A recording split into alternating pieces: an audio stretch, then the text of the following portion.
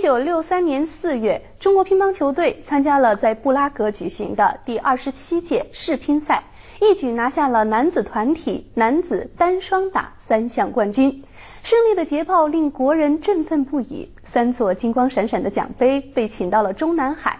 然而，对于中国乒乓球队来讲，在胜利的背后却隐藏着一个大家都心知肚明的缺憾：夺金牌，女队一个都不沾边。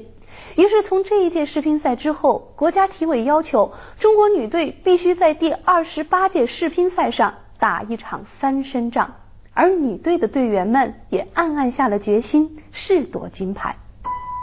一九六五年二月，荣国团受命担当中国女队教练。两个月后，这支充满朝气的中国乒乓球队踏上了出征第二十八届世界乒乓球锦标赛的路程。远赴南斯拉夫的鲁布尔雅纳市，当时中南两国由于政治上的严重分歧，正处于剑拔弩张的状态。果然，一到驻地，中国代表团发现中国国旗上的五星是白色的。接着，在一些报纸上，关于中国队的负面报道接踵而至，说中国队的生活像修道士，不跟任何人来往，秘密练球。政治让本来纯净的体育竞赛蒙上了一层阴影。在女子团体小组赛中，中国遭遇苏联，在当时政治环境下，万一输给了苏联，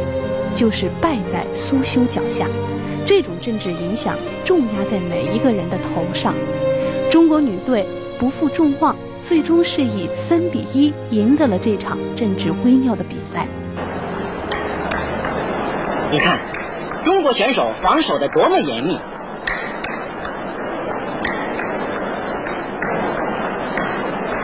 在关键时刻，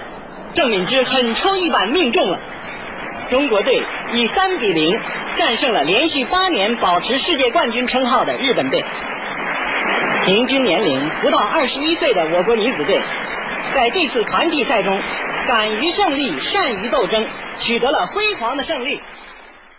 中国女队顺利地闯入了世乒赛决赛，再次与日本女队争夺世界冠军。四次蝉联女团冠军的日本队依然是盛气凌人，可他们没有想到，此时的中国女队已经完成了华丽转身。在双方交战过程中，日本队节节败退，最终中国队打了一个漂亮的翻身仗。第一次登上了世界冠军的宝座，曾经在世界乒乓球大赛领奖台上举起中国第一个世界冠军奖杯的荣国团，此时又带领中国年轻的乒乓女将捧回了中国第一个女子团体冠军奖杯——考比伦杯。世界各大媒体纷纷报道，从这一晚起，中国的乒乓球运动员可以称作是真正的冠军之上的冠军。接下来，请各位观赏潍柴动力凤凰大视野。